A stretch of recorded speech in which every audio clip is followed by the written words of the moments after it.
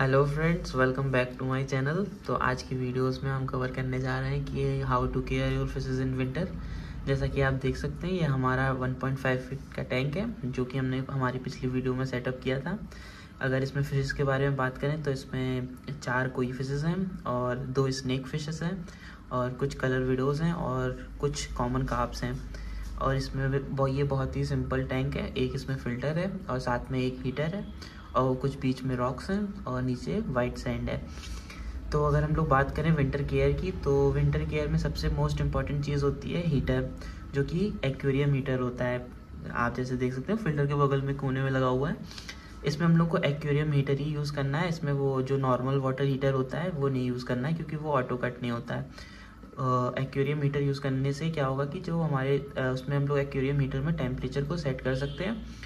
जैसे कि हमने अगर 28 डिग्री सेट किया है तो जो हमारा हीटर है, वो ऑटो कट होता है। जैसे अगर हमारा जो वाटर है एक्वेरियम का, वो जब 28 डिग्री सेल्सियस पहुँच जाएगा तो वो अपने आप ऑटो कट होके ऑफ़ हो जाएगा। और फिर जब हमारा टेम्परेचर दोबारा से वाटर का कम होगा तो वो दोबारा से अपने आप चालू हो जाएगा। तो हीटर हीटर जो होता है, वो बहुत इंपॉर्टेंट काम करता है, क्योंकि हमारी फिशेस जो फिशेस होती हैं, वो वार्म वाटर में ज़्यादा अच्छे से सर्वाइव कर पाती हैं। तो और जो दूसरी चीज़ है, वो है वाटर चेंज जैसे कि हम लोग समर्स में हर थ्री टू फोर डेज़ में थर्टी और फोर्टी परसेंट वाटर चेंज करते रहते हैं। लेकिन विंटर्स में हम लोगों को almost ten to fifteen days में थर्टी टू फोर्टी परसेंट ही चेंज करना चाहिए, जिससे कि हमारी फिशेस ज़्यादा शॉक में नहीं आएँगी।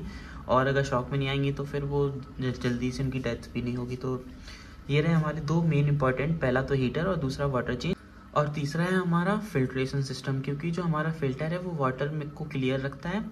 और जो हमारा जो वाटर है, उसमें धीरे धीरे जो फिशेस होती हैं, वो जो वाटर का अमोनिया लेवल है, वो धीरे धीरे इंक्रीज़ कर देती हैं।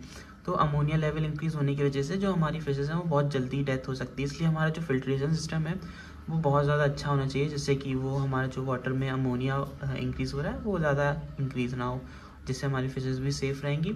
और सब फोर और जो सबसे लास्ट है फीडिंग तो जो फीडिंग है, वो हम लोग को मिनिमम डे में टू टाइम्स करानी चाहिए फिशेस को, और अगर हम लोग चाहें तो इसको वन टाइम भी विंटर में शिफ्ट कर सकते हैं तो वो भी फिशेस के लिए हेल्दी होता है।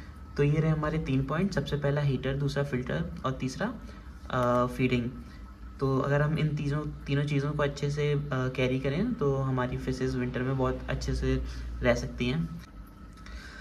तो आज की वीडियो को यहीं पे ख़त्म करते हैं। अगर आपको वीडियो पसंद आई हो तो इस वीडियो को लाइक करें, और अगर आपको फिजिक्स रिलेटेड और वीडियोस देखनी है तो इस चैनल को सब्सक्राइब करें। Thank you for watching the video